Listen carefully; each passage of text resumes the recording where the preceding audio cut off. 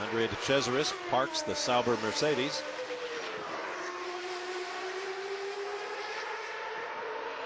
And the smoke explains why. Yeah, absolutely, it does. Fairly self-explanatory.